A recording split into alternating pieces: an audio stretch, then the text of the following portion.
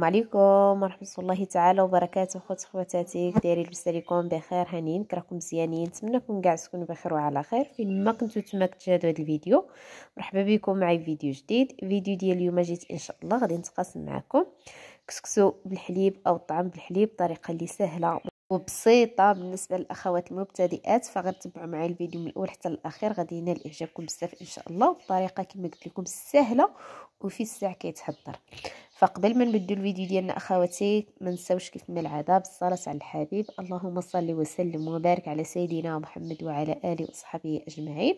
اذا أخواتي ما تنساونيش بواحد اللايك على الفيديو وأنتم كتفرجوا. الا كنتوا اول مرة كتشاهدوا هذا الفيديو ولا كتشاهدوا القناة. فكنقول لكم مرحبا بكم في قناتي وقناتكم مالكم غتشتركوا فيها وتشغلوا الجرس باش تبقاو توصلوا بكل ما هو جديد. ندوزو المكونات بطريقة مع بعضياتنا فبسم الله على بركة الله في واحد القصرية وضعت فيها واحد الكمية من آه، الكسكس أو الطعام كيف ما كتلاحظوا كل هو باش كيسميه. درت له تقريبا معلقة كبيرة ديال زيت نباتية ومن بعد حاولت أنني ندخل فيه كله داك الزيت يعني حتى كيتلبس كله بالزيت. من بعد هنا كناخذ جوج كؤوس كبار ديال الماء اللي كيكون عادي من روبيني وكنروي به داك الكسكس. هذه هي طريقتي المعتمدة. في التبخير أو تفوير أو طهي الكسكس يعني بطريقة اللي مبسطة وسريعة بزاف. من بعد ما كنوضع عليه داك جوج كيسان ديال الماء كنخليها هكا تقريبا واحد 10 دقائق حتى ل 15 دقيقة حتى كيتشرب مزيان داك الماء وعاد كندوز كنحلو بهذه الطريقة هذه فاش كنحلوه راه ما كيتعجن ما كيصرالو حتى شي حاجة. نتوما الصورة قدام عينيكم واضحة. بالعكس بهاد الطريقة هذه كنكونوا حيدنا علينا واحد الصفويرة. يعني في عوض ما نفوروه أو نبخروه ثلاثة ديال المرات نبخروه غير جوج ديال المرات. يعني في الساعة كيتحضر. وهاد الطريقة راها زوينة بزاف. من بعد ما حليته كنوضعو في الكسكاس كيف ما لاحظتوا معايا في الصورة. هانتوما راه حبة على اختها ما معجن ما كيصرالو والو. بالنسبة للأخوات المبتدئات جربوا الطريقة كيف ما هي. غادي تجيكم واعرة إن شاء الله. صافي وكنضيفوه يتفور المدة ما بين 25 حتى ل 30 دقيقة. من بعد ما كتمر داك المدة هذه كنحيد الكسكاس ديالي. كناخذ هنا واحد الإناء كيف ما لاحظتوا معايا اللي كيكون كبير على حسب الكمية ديال الكسكس أو الطعام. وهذه التصفيره الأولى كنوضع عليها واحد الرشيشة ديال الملح من بعد ما كنحيدو من الكسكاس وكنحاول نحلو هكا بواحد المعلقة ديال الخشب حيت كيكون سخون. من بعد كناخذ أيضا الماء اللي كيكون عادي من الروبيني يعني الماء سخون ما بارد. صافي وكنبقى نرش به وأنا كنحاول نحل داك الكسكس أو الطعام بهذا الشكل هذا. غادي نخليه هكا يبرد غير واحد شوية وغادي نخدم بيدي. شوفوا مع يدي هنا صراحة كنت نقيت شوية ديال الفول. شوفوا ليا كردوا لي يدي شوفوا صراحة جافيل ما قديتش عليهم قولوا لي شنو ندير ليهم قولوا لي شنو ندير لهاد الفول صراحة كيدبغ ليا في يدي. المهم علينا أخواتي صافي هنا من بعد ما كبرت شوية كان نكمل الرشه ديال الكسكس ديالي وأنا كنحلو مزيان بيدي بهذا الشكل هذا ما كتبقى لنا حتى شي قوقه فيه يعني حتى شي كويرة أو تكتلات هانتوما راه حبة على اختها.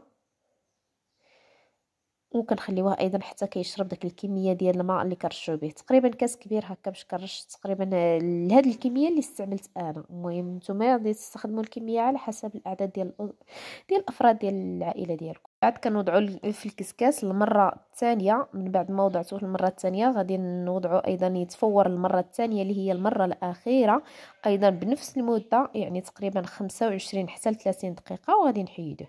هنا من بعد ما وضعته يتفور التصفيره الثانية كما قلت لكم اللي هي التصفيره الأخيرة غادي ناخذ هنا واحد الإناء وغادي نوضع فيه لتر ونص من الحليب. الكمية ديال الحليب كتبقى على حسب الكمية ديال الكسكس اللي وضعته وأيضا غادي نوضع تقريبا واحد ثلاثة ديال المعالق ديال السكر سنيده اللي ما كتعجبوش الحلاوة ما يضيفهاش يكتفي فقط بالملح وغادي ندير أيضا واحد رشيشة ديال الملحة. عاد غادي نوضعو فوق النار غادي نخليه إن شاء الله حتى كيكون طالع بالفيضة وعاد كنطفي عليه النار. هنا بالنسبة للكسكس ديالنا من بعد ما تفور التصفيرة الثانية كيف ما كتلاحظوا معايا هنا في هذه المرحلة غادي ناخذ معلقة كبيرة ديال السمن البلدي أو الزبدة بلدية وكنوضعها. كتعطيه واحد المذاق وواحد الرطوبة كيجي واعر بزاف. فكندخل فيه هذه المعلقه ديال السمن. بالنسبة للأخوات أو السيدات اللي ما متوفرش عندهم السمن فكتضيفوا الزبدة. يعني الزبدة العادية أي زبدة عندكم. صافي هنا من بعد ما كندخل فيه مزيان ديك المعلقة ديال السمن كنحاول نحلو هكا مزيان. وكنوضعو في صحن التقديم هانتوما شوفوا ليا راه ما كيجي فيه حتى شي حبيبات. يعني كيجي حبة على اختها كيف ما كنقولوا وكيجي رطب وواعر في المذاق ديالو. طريقة اللي سهلة وبسيطة وفي وقت اللي هو قصير. من بعد ما كنوضعو في صحن التقديم كيف ما كتلاحظوا معايا في الصورة هنا غادي ناخذ داك الحليب من بعد ما فيضته هو هذا. صافي وغادي نروي به بهذا الشكل هذا. أنا استخدمت هنا في الأول فقط الملعقة ومن بعد عاد غادي نخويه هكا مباشرة باش كيتقاس كله بداك الحليب.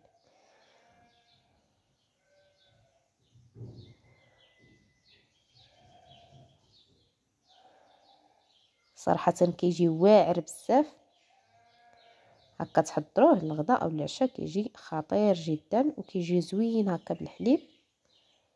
مرة مرة هكا الإنسان كيتشهى يعني كيبدل هكا شوية من الكسكس بالخضار أو بالتفاية وكيتوحش صراحة كيقول له عقلو هكا شوية على الكسكس بالحليب كيجي رائع جدا.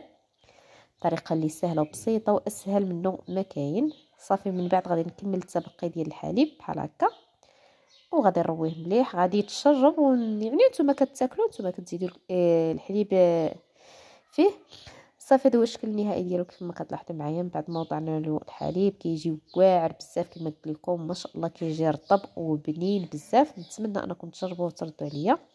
أخوتي خواتاتي نتمنى أن هذا الفيديو هذا يعجبكم. نتمنى إلى عجبكم تبارطاجيوه مع خوتكم صحابكم مع كاع الناس اللي كتعرفوا. فضلا وليس امرا إلا كنتو جداد أول مرة كتشاهدوا هذا الفيديو ولا كتشاهدوا هذه القناة كنقول لكم مرحبا بكم في قناتي وقناتكم. معكم غتشتركوا فيها وتشغلوا الجرس باش تبقاو توصلوا كل ما هو جديد. ما تبخلوش عليا بلي لايكات ديالكم تعرفكم الزوينة المحفزة على الفيديو. وإلا باقيين كتشاهدوا الفيديو حتى دابا بطبيعة الحال كنقول لكم شكرا بزاف على حسن المتابعة. وبسلام عليكم مع فيديو جديد وصفات جديدة إن شاء الله.